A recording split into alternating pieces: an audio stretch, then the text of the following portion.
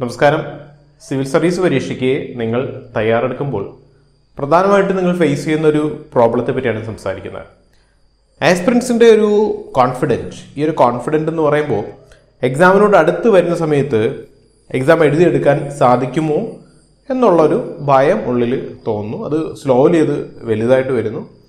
ചില പ്രത്യേക സാഹചര്യങ്ങളിൽ ഒരു വർഷത്തെ എക്സാം എഴുതാതെ സ്കിപ്പ് ചെയ്യാനും ഒരു കാരണമായിട്ട് വരുന്നു. അപ്പോൾ അതിനെ പറ്റിയാണ് സംസാരിക്കുന്നത്. ക്രാക്ക് ചെയ്ത എല്ലാവരോടും ചോദിച്ചു കഴിഞ്ഞാൽ അവർ എല്ലാവരും പറയുന്ന മെയിനായിട്ടുള്ളൊരു കാര്യം. എക്സാമിന് പ്രിപ്പയർ ചെയ്യുന്ന മൊമെന്റ് മുതൽ നിങ്ങൾ സ്വയം വിശ്വസിക്കണം. അതായത് നിങ്ങൾ എന്താണോ ആഗ്രഹിക്കുന്നത്. നിങ്ങൾ ആഗ്രഹിക്കുന്ന എന്തായാലും ആ ഒരു സക്സസ് തന്നെയാണ്. എക്സാം ക്രാക്ക് ചെയ്യുക എന്നുള്ളൊരു കാര്യം തന്നെയാണ്. അപ്പോൾ എക്സാം ക്രാക്ക് ചെയ്യാൻ പറ്റും എന്ന് നൂറ് ശതമാനം നിങ്ങൾ നിങ്ങളോട് തന്നെ പറയുക. കാര്യം ഒരു കിടങ്ങ് അല്ലെങ്കിൽ ഒരു കുഴി. നിങ്ങൾ ഓടി വന്നത് ചാടുന്ന സമയത്ത് അപ്പുറം പോകത്തില്ല എന്ന് മനസ്സിൽ ധാരണ ഉണ്ടെങ്കിൽ നിങ്ങൾ ഉറപ്പായിട്ട് അപ്പുറം പോകില്ല ആ ഒരു കുഴിയിൽ തന്നെ വീഴും. ഇതുപോലെ തന്നെയാണ് നിങ്ങളുടെ ഒരു കോൺഫിഡൻസ് ലെവൽ ഇൻക്രീസ് ചെയ്ത് തന്നെ കൊണ്ടുവരണം. കാര്യം എപ്പോഴും റിയാലിറ്റിയുമായിട്ട് കമ്പയർ ചെയ്യുന്നത് കൊണ്ടാണ്. അതായത് നിങ്ങൾ പഠിച്ചു തീർക്കാനുള്ള വിഷയത്തെ പറ്റി ആലോചിച്ചിട്ട് അല്ലെങ്കിൽ ആ ഒരു വാസ്നസിനെ പറ്റി ആലോചിച്ചിട്ട് ഒക്കെ ആയിരിക്കും നിങ്ങളുടെ ഒരു കൺഫ്യൂഷൻ ഉള്ളത് ഈ ഒരു കൺഫ്യൂഷൻ നിങ്ങളുടെ ഒരു കോൺഫിഡൻസ് കുറയുന്ന ഒരു സാഹചര്യത്തിലോട്ട് വന്നു കഴിഞ്ഞാൽ ഉറപ്പായിട്ടും അത് നിങ്ങളുടെ റിസൾട്ടിനെ ബാധിക്കും. ഫ്രം ദ ഡേ വൺ നിങ്ങൾ റിസൾട്ടിനെ പറ്റി ചിന്തിക്കാതിരിക്കുക നിങ്ങൾ end of the day civil servant ആകും ഞാനൊരു എക്സാം ക്രാക്ക് ചെയ്യും ഞാൻ ഉദ്ദേശിക്കുന്ന റാങ്കിനകത്ത് വരും എന്നുള്ള ഒരു കാര്യം മാത്രം മനസ്സിൽ ഉറപ്പിച്ചുകൊണ്ട് പ്രിപ്പറേഷൻ തുടങ്ങാം ഈ ഒരു പ്രിപ്പറേഷൻ സമയത്ത് നമ്മൾ പാലിക്കേണ്ടതായിട്ടുള്ള ഒരുപാട് കാര്യങ്ങളുണ്ട്.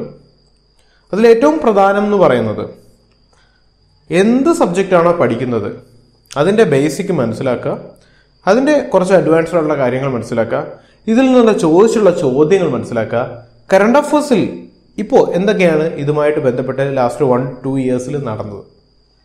Again what are the question possibilities അല്ലെങ്കിൽ ഏതൊക്കെ ടോപ്പിക്കിൽ നിന്ന് ഇതിൽ നിന്ന് ചോദ്യങ്ങൾ ഉണ്ടാകാൻ സാധ്യതയുണ്ട്? അല്ലെങ്കിൽ സിമിലർ ആയിട്ടുള്ള ചോദ്യങ്ങൾ മുമ്പത്തെ വർഷങ്ങളിൽ വന്നിട്ടുണ്ടോ? ഇത്തരത്തിലുള്ളൊരു അനാലിസിസ് നടത്തിയാണ് ഓരോ ടോപ്പിക്കും നിങ്ങൾ കടന്നു പോകേണ്ടത് അപ്പോൾ ഇത്തരത്തിൽ വ്യക്തമായിട്ടുള്ള ഒരു സ്റ്റഡി ഹൺഡ്രഡ് പെർസെന്റേജ് കൊടുക്കാൻ മാത്രം എപ്പോഴും നിങ്ങൾ ശ്രദ്ധിക്കുക. അല്ലാതെ എക്സാമിന് പ്രിപ്പയർ ചെയ്യുന്ന മൊമെന്റ് മുതൽ ഓരോ ദിവസത്തെയും പുതിയ പുതിയ കറണ്ട് അഫേഴ്സ് വരുന്നു. പുതിയ പുതിയ വാർത്തകൾ നിങ്ങൾ കാണുന്നു. പുതിയ പുതിയ എഡിറ്റോറിയൽസ് അപ്പോൾ ഇതെല്ലാം കാണുമ്പോൾ ഞാൻ ഇനിയും ഒത്തിരി പഠിക്കാനുണ്ട്. ഇങ്ങനെ ആദ്യ കൂട്ടിക്കഴിഞ്ഞാൽ എൻഡ് ഓഫ് ദി ഡേ നിങ്ങൾക്ക് ഒരു നെഗറ്റീവ് ഫലമായിരിക്കും വരുന്നത്. അപ്പോൾ വിശ്വസിക്കണം. നിങ്ങൾ നിങ്ങളെ തന്നെ വിശ്വസിക്കണം. കോൺഫിഡന്റോടുകൂടി ഇതെനിക്ക് കഴിയും എന്നുള്ളൊരു വിശ്വാസം എടുക്കണം. എന്തായാലും രണ്ടായിരത്തി ഇരുപത്തി മൂന്നിലെ പരീക്ഷ ഫെബ്രുവരി ഒന്നാം തീയതി മുതൽ ഇരുപതാം തീയതി വരെയുള്ള ദിവസങ്ങളിലാണ് നിങ്ങൾക്ക് ഒരു സ്ലോട്ട് ഓപ്പൺ ആവുന്നത്. അപ്പോൾ ഇതിന്റെ കൂടെ തന്നെ ഒരു വൺ ടൈം രജിസ്ട്രേഷൻ നിങ്ങൾക്ക് വേണമെങ്കിൽ ചെയ്തു വെക്കാം. കാര്യം നിങ്ങളുടെ പേഴ്സണൽ ബേസിക് ഡേറ്റ എല്ലാം തന്നെ നിങ്ങൾക്ക് ആൾറെഡി ലോഡ് ചെയ്ത് വെച്ചുകൊണ്ട് എക്സാമിന് അപ്ലൈ ചെയ്യുന്ന സമയത്ത് അതിന്റെ എറേഴ്സ് റെക്ടിഫൈ ചെയ്യാൻ പറ്റും.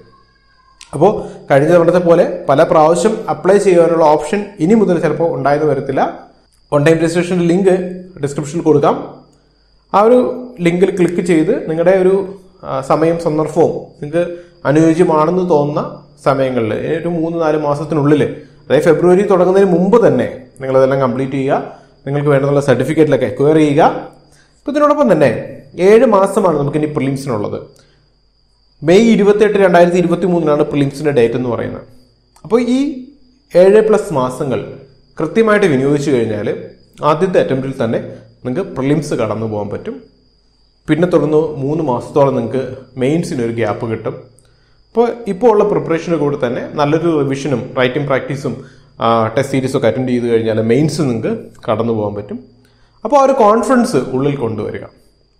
പ്രിലിംസ് ക്രാക്ക് ചെയ്യുന്നവരുടെ ഒരു ടോട്ടൽ പെർസെന്റേജ് എന്ന് പറയുന്നത് ടോട്ടൽ എക്സാം എഴുതുന്നവരുടെ ഒരു രണ്ട് പെർസെന്റേജ് മാത്രമാണ്.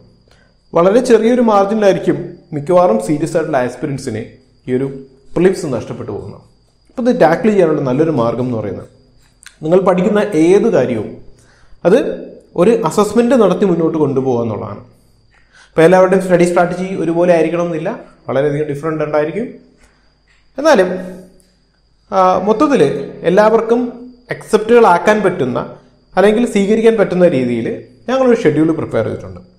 ഈ ഒരു ഷെഡ്യൂൾ പ്രകാരം ഞങ്ങൾ പ്രിലിംസിന് വേണ്ടിയിട്ട് ഒരു ടെസ്റ്റ് സീരീസ് സ്റ്റാർട്ട് ചെയ്തിട്ടുണ്ട്. അതിന്റെ അഡ്മിഷൻ ഓപ്പൺ ആണ്.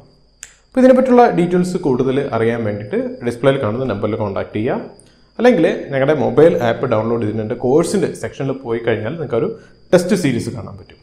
ഇതിന്റെ ഷെഡ്യൂളിൽ ഒരു പി ഡി എഫ് ഉണ്ട് അത് നമ്മുടെ ഡിസ്ക്രിപ്ഷനിൽ കൊടുത്തിരിക്കാം. അപ്പോൾ നിങ്ങളൊന്ന് ക്ലിക്ക് ചെയ്ത് ഡൗൺലോഡ് ചെയ്ത് നോക്കുക. നൂറ്റി ഇരുപത് ടെസ്റ്റുകൾ ആഡ് ചെയ്തുകൊണ്ട് പന്ത്രണ്ടായിരം ക്വസ്റ്റ്യൻസ് വരുന്ന ഒരു വൈഡ് വെറൈറ്റി ഓഫ് ക്വസ്റ്റ്യൻസ് തരുന്ന ഒരു ടെസ്റ്റ് സീരീസാണ് ഇൻട്രൊഡ്യൂസ് ചെയ്യുന്നത്. അതിൽ എൻ സി ആർ ടി വരും കറണ്ട് അഫേഴ്സ് വരും സബ്ജക്റ്റ് ഓറിയന്റഡ് ടെസ്റ്റ് വരും സിസാറ്റിന്റെ അനുബന്ധ ഭാഗങ്ങൾ ചേർന്നുള്ള ടെസ്റ്റ് വരും. എൻഡ് ഓഫ് ദി ഡേ ആ മോക്ക് ടെസ്റ്റ് കൂടി ഇൻക്ലൂഡഡ് ആയിട്ടായിരിക്കും നൂറ്റി ഇരുപത് ടെസ്റ്റുകൾ ക്രമീകരിച്ചിരിക്കുന്നത്. അപ്പോൾ നിങ്ങളുടെ പഠനവുമായിട്ട് യോജിച്ച് കൊണ്ടുപോകാൻ പറ്റുന്നതാണോ എന്ന് നിങ്ങൾ നോക്കുക. അങ്ങനെയാണെന്നുണ്ടെങ്കിൽ ഉറപ്പായിട്ടും ഇത് എടുക്കുവാനായിട്ട് അതായത് ഈ ഒരു ടെസ്റ്റ് സീരീസിന്റെ ഭാഗമാകാൻ നോക്കുക ഇനി നിങ്ങൾ ഒരു ടെസ്റ്റ് സീരീസ് ഓറിയന്റഡ് ആയിട്ട് അല്ലെങ്കിൽ ഒരു അസസ്മെന്റ് ഓറിയന്റഡ് ആയിട്ട് പഠിക്കേണ്ട ഒരു സമയമാണ്. ഈ ഒരു ഏഴ് മാസത്തിൽ ഒരു നാല് അല്ലെങ്കിൽ അഞ്ച് മാസം കൊണ്ട് നിങ്ങളുടെ പഠനം കംപ്ലീറ്റ് ആയിട്ട് തീർക്കുകയും പിന്നെയുള്ള മാസങ്ങൾ കംപ്ലീറ്റ് റിവിഷന് വേണ്ടി ഉപയോഗിക്കുകയും ചെയ്യുക. അപ്പം ഞങ്ങളുടെ ടെസ്റ്റ് സീരീസിൽ ഞങ്ങൾ അവലംബിച്ചിരിക്കുന്ന ഒരു മാർഗം എന്ന് പറയുന്നത് ഒരു ടെസ്റ്റിനുള്ള കണ്ടന്റ് പഠിച്ച ഒരു ടെസ്റ്റ് അറ്റൻഡ് ചെയ്ത് കഴിഞ്ഞാൽ അതിനെ അപ്പോൾ തന്നെ റിവിഷന് വേണ്ടി പ്ലാൻ ചെയ്യുക then go for the next test എന്നുള്ള രീതിയിലാണ്. അപ്പോൾ കോംപ്രിഹെൻസീവ് ആയിട്ടുള്ള വളരെ കോംപ്ലക്സ് ആയിട്ടുള്ള ഒരു റിവിഷൻ മെത്തേഡാണ് ഇതിന്റെ ഫലം എന്ന് പറഞ്ഞു കഴിഞ്ഞാൽ നിങ്ങളുടെ ഒരു ആദ്യത്തെ ഒരു ഫോർ ഫൈവ് മന്ത്സ് കഴിയുന്ന സമയത്ത് തന്നെ അറ്റ്ലീസ്റ്റ് നിങ്ങൾ ഒരു ഫോർ ഫൈവ് ടൈംസ് റിവിഷൻ ചെയ്തിരിക്കും നിങ്ങൾ പോലും അറിയാതെ. അപ്പോൾ കുറച്ചും കൂടുതൽ എക്സാം ക്രാക്ക് ചെയ്യാനുള്ള ഒരു പോസിബിലിറ്റി നിങ്ങൾക്ക് അവിടെ തരും. ഓക്കെ അപ്പോൾ എക്സാമിന് എപ്പോഴും കോൺഫിഡന്റ് ആയിട്ട് തന്നെ പഠിക്കുക. നമുക്ക് മറ്റൊരു വീഡിയോ വീണ്ടും കാണാം. ദിസ് ആക്കി സൈനിങ് ഗുഡ് ബൈ